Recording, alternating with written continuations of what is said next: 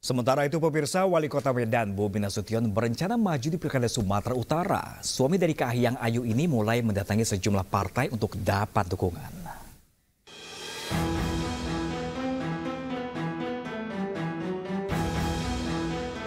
Jelang Pilkada Sumatera Utara 2024, Wali Kota Medan Bobi Nasution mulai bersilaturahmi dengan sejumlah partai politik, salah satunya dengan Partai Kebangkitan Bangsa.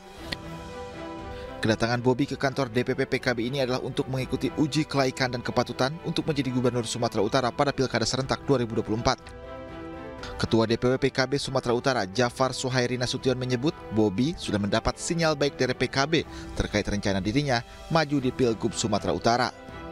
Alhamdulillah sinyalnya sangat kuat. Mudah-mudahan kehadiran beliau hari ini membawa bertahan tentunya dan mudah-mudahan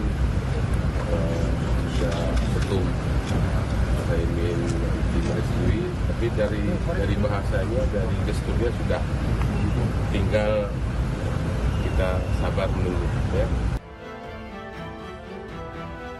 Sebelumnya Bobi juga mengaku telah berkomunikasi dengan Partai Golkar terkait Pilkada Sumatera Utara. Bobi juga tak menampik tentang rencana akan disandingkan dengan Musa Rajeksah. Namun demikian, Bobi mengaku masih menunggu keputusan Partai Golkar. Jack ataupun dari Golkar yang Ya bocor-bocorannya mungkin ya.